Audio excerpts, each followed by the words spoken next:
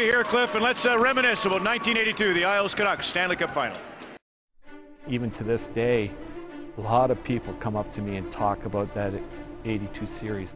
I just remember, you know, the, the team seemingly just getting better and better every year. Going into the playoffs, we felt someone's got to play really well to, to, to beat us. It's a hard-working team. You know, uh, everyone showed up.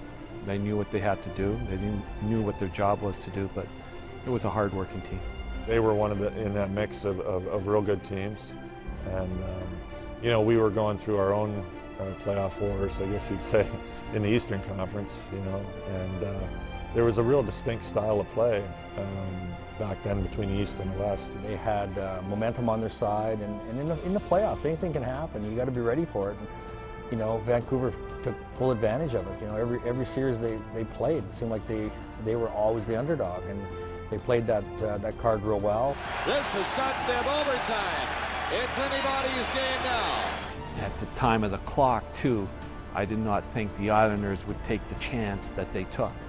And uh, Harold Snepsts is, is our defenseman behind the puck, and we're, we're making a standard breakout coming out.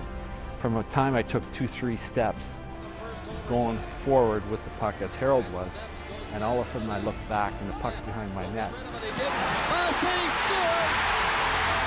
It's something that I'll never forget as a player. That was the difference in the game, and they were that much more skilled than us, and they had an elite player like Mike Bossy.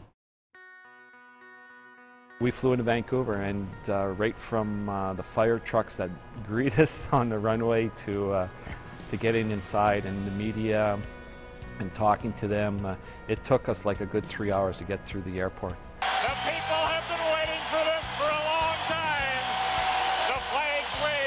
It was a great, great uh, atmosphere in the in the building. You know, they were really you know behind their team, and you know every every opportunity they could, they'd be waving those towels and we just kind of have to put a blind eye to it and we'd say, you know, that's kind of fun for the home team, you know, but it's, uh, we, we, we just can't get uh, distracted by it at all.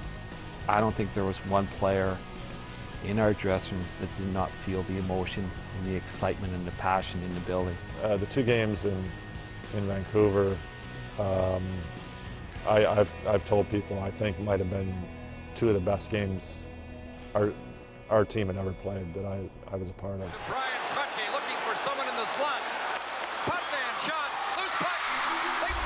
You know, Mike Bossy, I still say the best best goal scorer I ever saw, um, ever played against.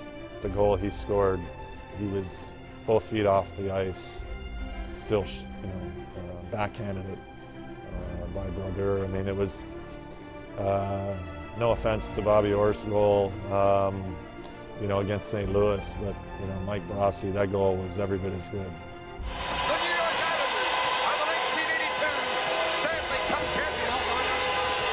the fact that people say, you know, like, well, you know, they're they're champions, but they're they're kind of like low-key champions. They're not up there, you know, pumping their chest and pounding their, you know, the chest and saying, ah, we're the greatest, we're the greatest, we're the greatest. But you know, we felt like strutting at times, but we certainly didn't want to like uh, demean or you know belittle any of our opposition at all. I think it gave us a little bit more respect and a stepping stone to get where we're at now uh, as a team. One nothing Canucks after one.